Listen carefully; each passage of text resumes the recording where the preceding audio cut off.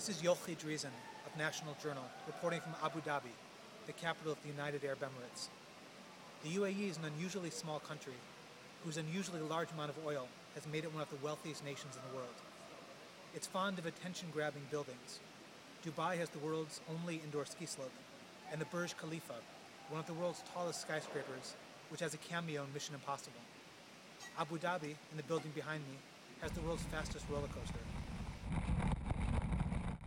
When it comes to the complex politics of the Middle East, the UAE has been an afterthought, a bit player, rendered almost irrelevant because of its small size. But all of that is changing because of the growing tensions over Iran's nuclear program. The UAE now finds itself in the center of an emerging American strategy to counter Iran, one that has both a carrot and a stick. In stark contrast to the situation in Iran, the US has vocally endorsed the UAE's plan to build the first nuclear facilities in the Arab world. It's given it extensive technical support, it's endorsed it in universal and in, in international organizations, and it's allowed Westinghouse and other large corporations from the United States to participate in the building of the four nuclear plants.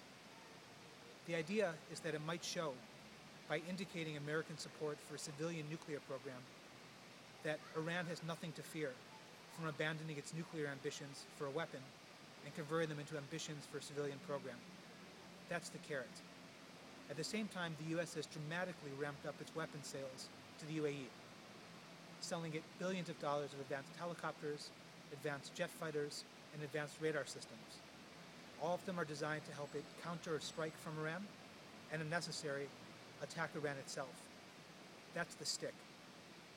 The idea is, hopefully, combine the one with the other, and Iran will stop its nuclear weapons program. Unfortunately, there's little indication the strategy is working. Iran has threatened to close the Straits of Hormuz, the most important oil shipping route in the world, and has vowed to continue its weapons program no matter the cost.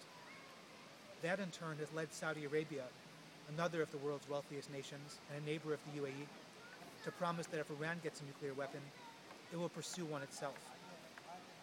That in turn has led to speculation that Jordan, Kuwait, Egypt, and other major Arab countries may try to develop nuclear weapons of their own, leading to a nuclear race in the Arab world, a source of deep concern to the US.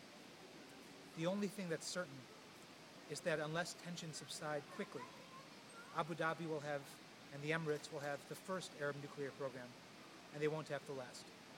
This is Yochi Dreazen from Abu Dhabi.